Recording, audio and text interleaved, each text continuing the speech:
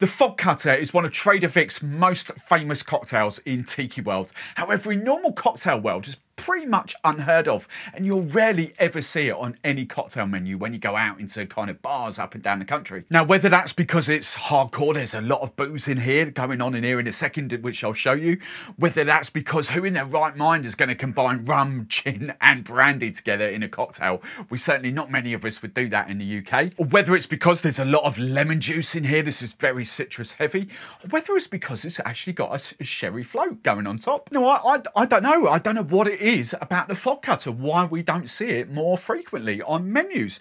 But it's one of those things that Trader Vic is known for, where he combines lemon juice, uh, orange juice, rum, and orgeat syrup. Those four ingredients you will see quite a lot in his cocktails, whichever cocktail book you pick up. So I, I don't know, uh, but I'm going to dive in and show it. All I would say is when I kind of see this on a menu, it's perhaps one that I would skip over straight away or in a cocktail book. I would skip past it.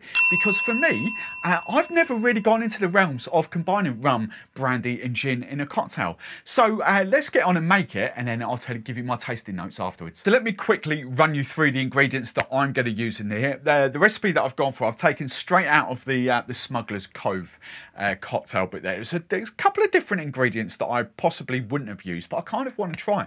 Because this is a cocktail that I've actually can't remember ever making.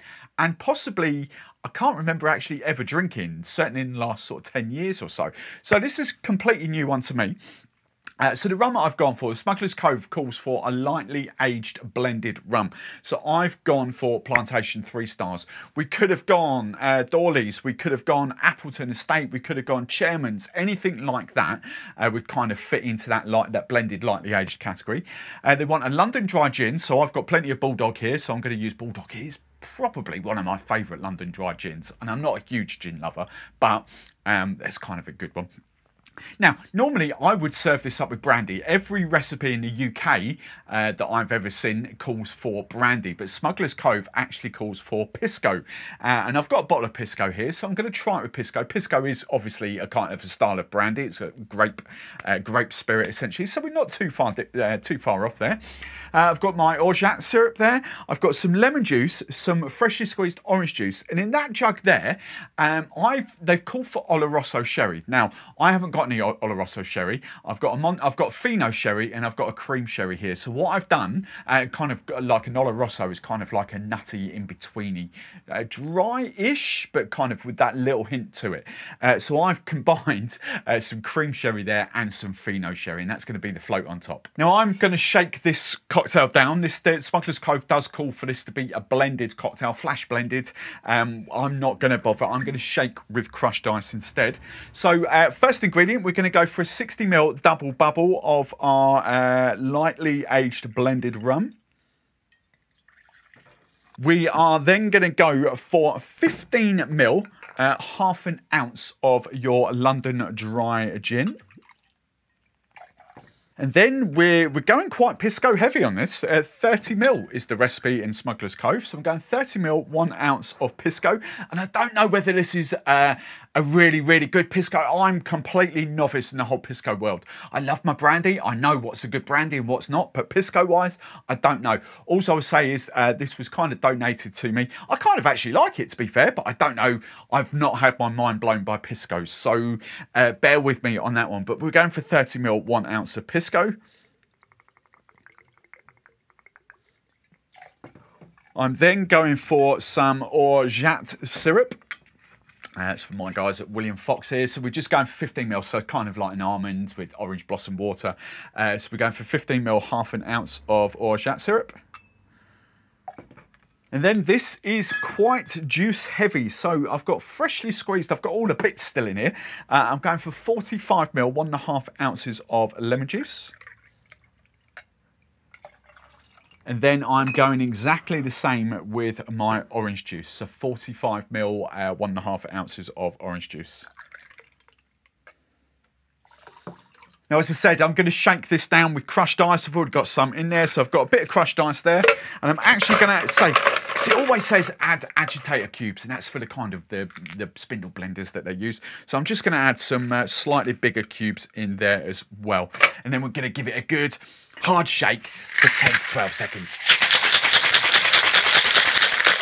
Right, and we can tell that's nice and cold. Look at that. That's what we want. So, uh, now to serve this up, I, I, do you know what? I haven't rocked this out for ages.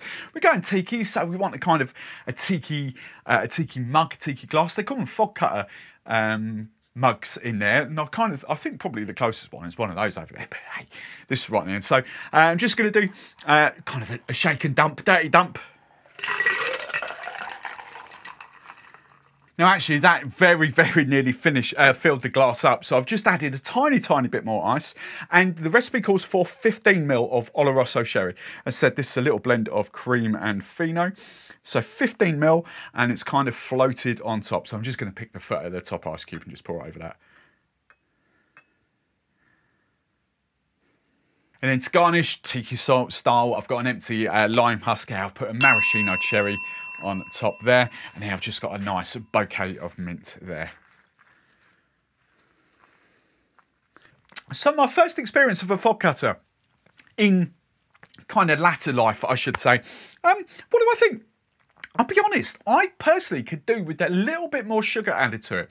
It's quite uh, citrus heavy, it's quite lemon heavy uh, for me. So maybe like 5, 10 mil of sugar syrup in, in, there to kind of complete it. Bearing in mind, I don't kind of know how places like the Smuggler, how sweet their orgeat syrup is. Uh, the orgeat syrup I have over here isn't overly sweet. It's more of a flavouring in that kind of sense. So I might actually balance that out a little bit more there.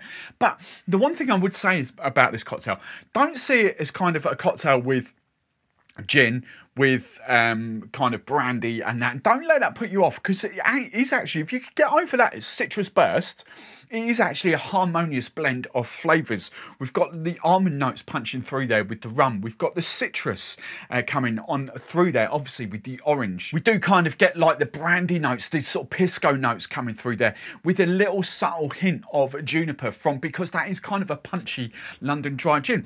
So is it well balanced? Yes, exceptionally well balanced in that respect. As I say, it's not a cocktail that I would first automatically assume to go for with brandy, with rum, with gin, but it really does work. I just think for me personally, just a touch more sugar or kind of play about with the orgeat syrup that I've got to kind of actually sweeten it up slightly. So in the comments below, let me know your go-to um, fog cutter recipe, whether you do add a bit of sugar syrup, but how sweet your orgeat syrup is, uh, what kind of, whether you're a pisco versus uh, brandy. Let me know. Let me know whether you love um, love the fog cutter as well. As I say, it's not a kind of classic out there cocktail, but I really do think you should try it because it does very well at what tiki does, and that's kind of marrying like citrus with big, bold flavours. So I really, really love it.